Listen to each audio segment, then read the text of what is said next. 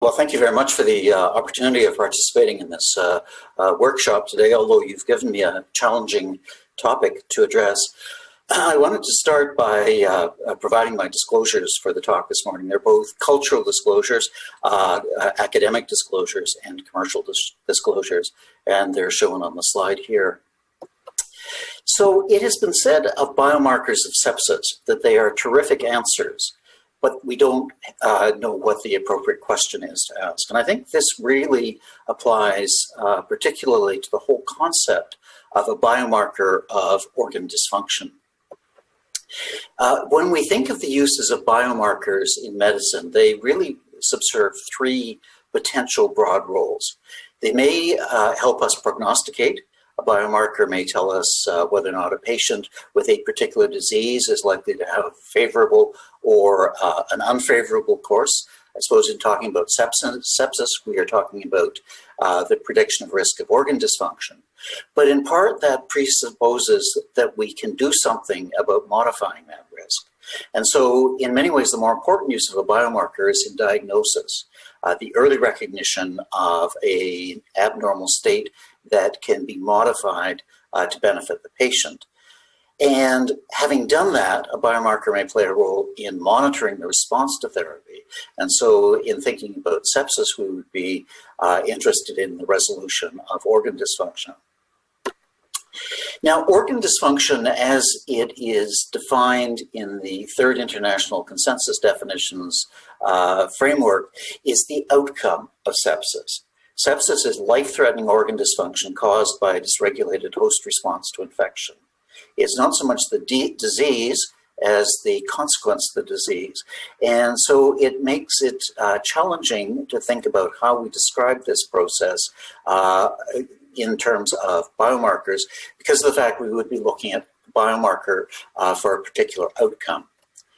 Now, what is the multiple organ dysfunction syndrome? Part of the challenge that we face in trying to describe it accurately with uh, biomarkers is that it's a very poorly characterized, though very dramatically expressed uh, clinical condition. In essence, it is physiologic insufficiency uh, necessitating some form of exogenous support associated with acute critical illness.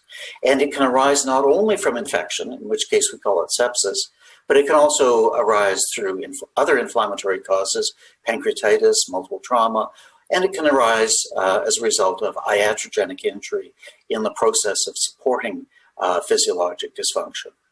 And this is a particularly important concept because we conflate the physiologic derangement with the response to that derangement by the doctor. And we measure organ dysfunction both as the deranged physiology and as the response of the doctor. So, for example, if you look at the sequential organ fail failure assessment score, you'll see that the six systems described uh, are described partly in terms of physiologic dysfunction, the defect in oxygenation that is reflected in the uh, PO2 FiO2 ratio or the increase in bilirubin that's uh, uh, a marker of hepatic dysfunction. But it's also described as what the doctor does to treat this. The provision of excess oxygen uh, for respiratory support, uh, the use of vasopressor agents to support uh, cardiovascular dysfunction. And the problem here, of course, is that this is not a, a state of the patient, it is a decision of the doctor, and that decision may well vary uh, dependent on who the doctor is, where he or she is practicing, and what the current state of knowledge is about the potential harms associated with deranged physiology. Now, we've tried to get around the problem of describing organ dysfunction as the need for therapy uh, in the multiple organ dysfunction score, but even here, uh, it doesn't really accomplish uh, the same goal. The renal uh, marker creatinine can be altered by dialysis. The cardiovascular uh, parameter will be impacted by the use of vasoactive medications as well. The Glasgow Coma Scale uh, is impacted by the use of sedative agents. So we have this kind of intertwining of physiology that's deranged and a doctor's response to that deranged physiology uh, that makes the description of organ dysfunction uh, particularly challenging. It would appear obvious that if we could detect organ dysfunction at an earlier stage, that we could intervene and uh, benefit the patient.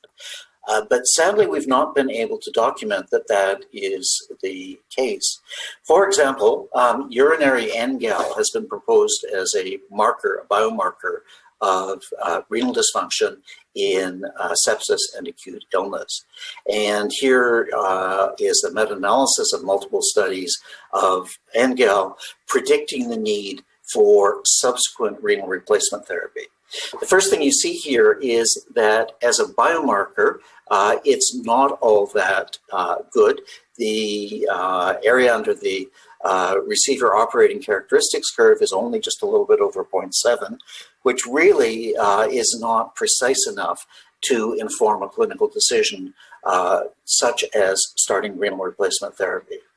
But there's an even more fundamental issue uh, at play here.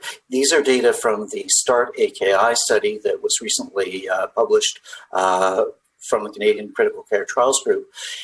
START AKI uh, looked at the hypothesis that early institution of renal replacement therapy would benefit uh, critically ill patients. It studied close to 3,000 uh, patients in multiple countries around the world and found that when you looked at outcomes as survival at 90 days, there was no evidence that accelerated renal replacement therapy improved the outcomes for patients. So even if we have a marker that can predict progression to renal replacement therapy, it's not going to impact what we might do to change that course. Indeed, what was found in this study uh, and what is, I think, uh, a theme in many, many uh, fields in critical care medicine is that patients who had early replacement therapy had a higher incidence of adverse events associated with that therapy.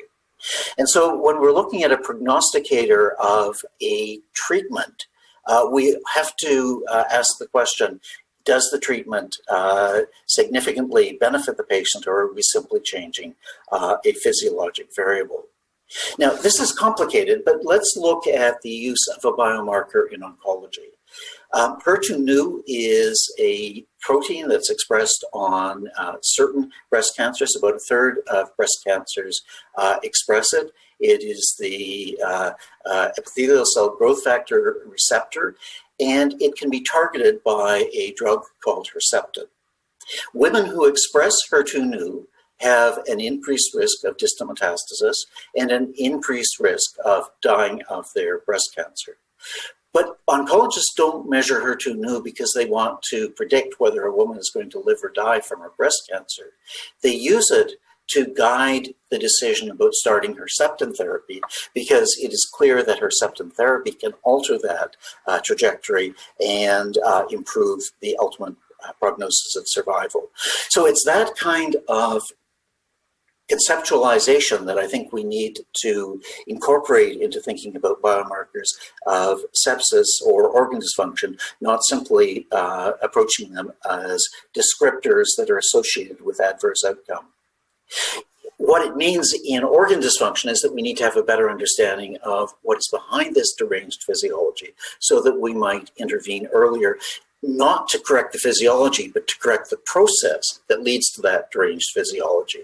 And that could be alterations in innate immunity, could be oxidative injury, it could be an increased infectious risk because adaptive immunity is impaired, it could be abnormal host microbial homeostasis leading to an increased risk of infection, it could be altered apoptosis, endothelial dysfunction, or even uh, reprogramming of cells at a fundamental metabolic level.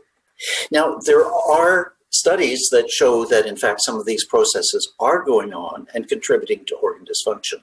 This was an uh, animal study looking at uh, the uh, potential role of um, injurious mechanical ventilation in producing kidney injury. And the slides at the bottom are from a separate study, but what they show is uh, apoptotic cells in the kidney, uh, which are a consequence of injurious uh, ventilation of the lung. Uh, the study above uh, shows that this process uh, seems to develop during sepsis, but not as a direct consequence of intratracheal uh, instillation of uh, acid. And so, in a sense, this might be a marker of a process that could potentially be modified. But obviously, the distance from uh, experimental evidence of um, a marker showing a, a, process that might be modified to applying this in a critically ill patient is an enormous one.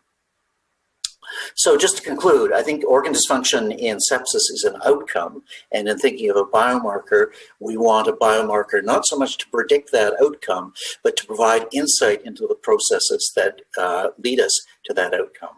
And this is difficult because the biological basis of organ dysfunction is complex uh, and poorly understood.